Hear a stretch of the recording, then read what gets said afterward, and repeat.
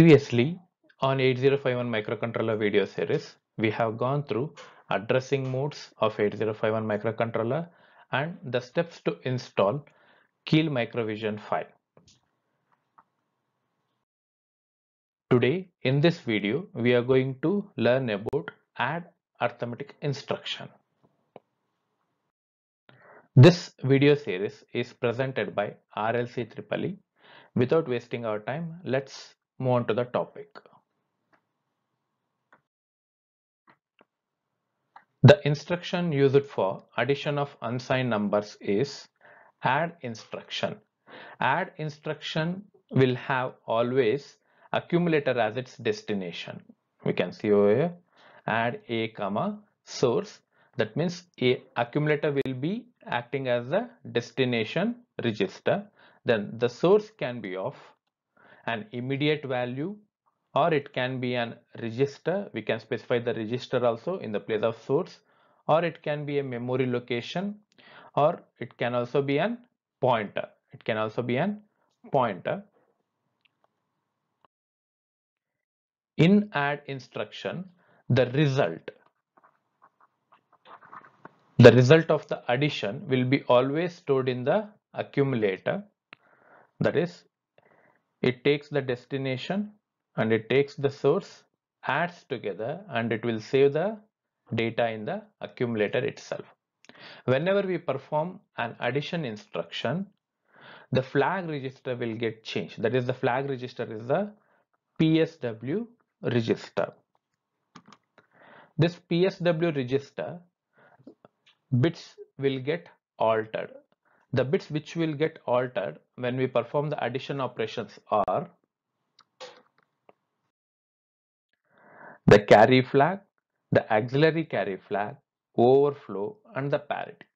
These are the four bits or the four flags which gets affected while performing add instruction. When we execute add instruction, these four flags will get affected. We'll go with an example on this. Now we'll consider the add instruction with immediate addressing mode. In immediate addressing mode, we'll be passing the data directly. So here the source will be of direct data.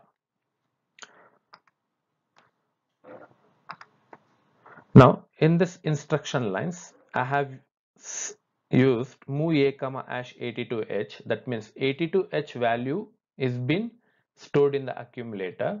Then in the next instruction i am adding the accumulator value with the direct data that is 0a2h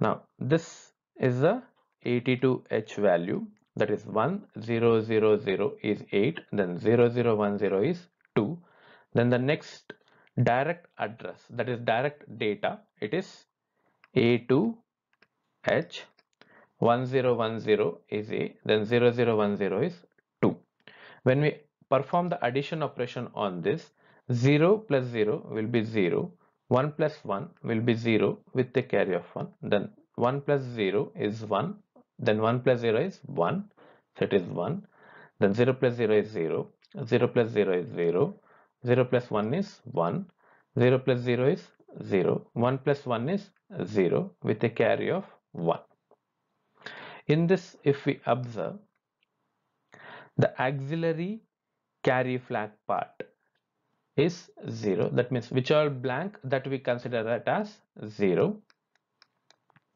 auxiliary carry is 0 then the carry flag is 1 the carry flag is set to 1 then the overflow flag which is dependent on the carry 7 and carry 8 it is the XOR operation of carry 7 and carry 8 to know the detail of like auxiliary carry overflow carry carry flag parity bit rs not rs1 all those things we have uploaded the video on psw register. The link for that is also given in the description. You can check about it for the detailed explanation of these flags now the overflow flag is the XOR operation of carry 7 and carry 8 so 1 XOR with 0 is 1 so we can write carry is equal to 1 overflow is equal to 1 then auxiliary carry is equal to 0 then the parity bit will be equal to 0 because the number of ones present in the accumulator after executing this instruction is 2 you can see we have 1 2 two ones in the accumulator these two so the parity bit in the PSW register will be set to 0 will be set to 0 next we'll move on with an example of register addressing mode with add instruction. In this example, we are considering the source to be of register, where the register can be from R0 to R7.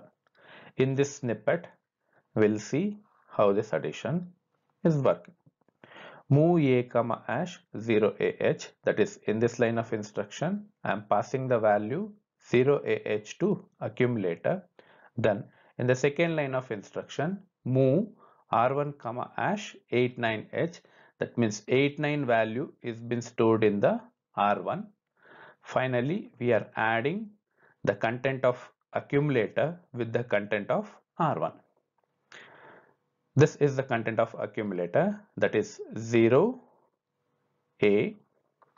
Next this is the content of r1 which is of 8 9 when we perform the addition operation on this bit by bit 0 plus 1 will get 1 then 1 plus 0 1 0 plus 0 is 0 1 plus 1 it is 0 with 1 then 1 plus 0 plus 0 is 1 0 0 then 1 now now if we observe the left out part will make it as 0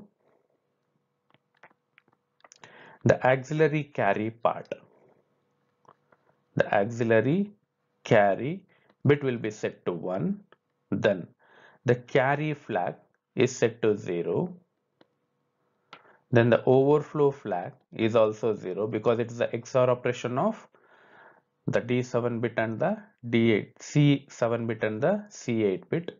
So it is 0 and the parity flag if we check we have four ones here.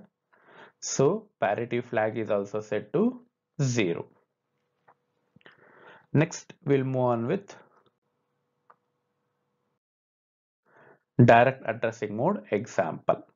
In direct addressing mode, the source will be of direct address.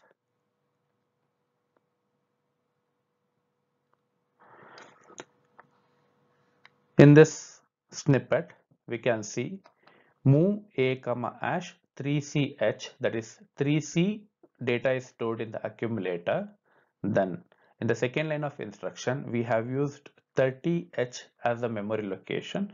In the 30h I am storing ff then finally we are adding the content of accumulator with the content of 30h with the content of 30h now accumulator is stored with the value of 3c then 30H memory location is stored with the value of F, F. When we perform the addition operation of this, 0 plus 1, 1, 0 plus 1, 1, 1 plus 1, 0 with 1, then 1 plus 1 plus 1 is going to be 1 and 1, same here it will be 1, 1, then 1, 1, 1 plus 1, 0 with 1 1 plus 0 plus 1 0 with 1 now here if we observe the auxiliary carry part. Auxiliary carry is equal to 1 and carry is equal to 1 then overflow flag. Overflow flag is equal to 1 XOR 1 which will be of 0 so the overflow flag is 0 because overflow is equal to XOR operation of C7 XOR C8 that is carry 7 and carry 8. 1 XOR 1 will be equal to 0. So over flag is equal to 0. Then the parity flag if we check count the number of ones here. We have 1, 2, 3, 4, 5. So 5 ones are stored in the accumulator. So the parity flag will be equal to 1. Parity flag will be equal to 1. Next, we'll take up one more example with indirect addressing mode.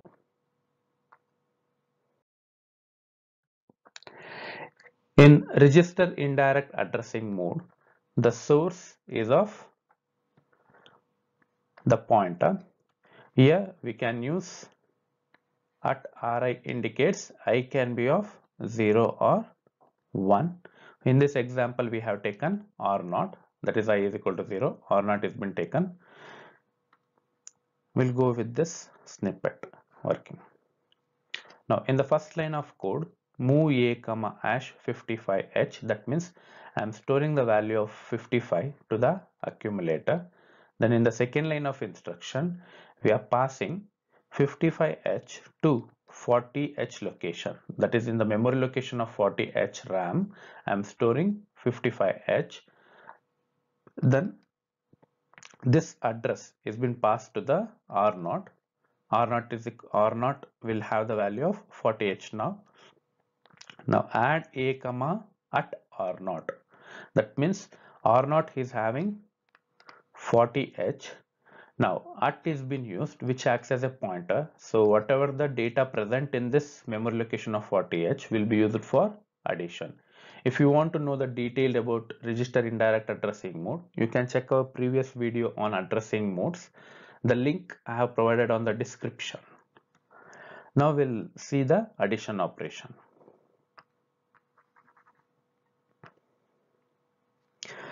When we perform the addition operation now, accumulator is with the value of 55H. Then the value stored in the 40H is 55. In the memory location 40H, 55 is stored. When we perform the addition, 1 plus 1, 0, then 1, 1 plus 0 plus 1, 1, then 1 plus 1, 0, 1, then 1, 0 1 1 0 1 1 okay. If we observe the auxiliary carry flag is equal to 0 that is auxiliary carry is set to 0 then carry flag is also set to 0 overflow flag. Overflow flag is the XOR operation of C7 and C8 this C7 and C8. So 0 XOR 1 is 1. Then parity bit is equal to 0 because number of ones present in the accumulator after addition is 4. So parity flag is set to 0. In the next video, we'll take an example and we'll work on the Keil Microvision software. For more upcoming videos, subscribe to our YouTube channel and for our social media platform. If you really like the video, share with your friends and well-wishers. We'll see in our next video.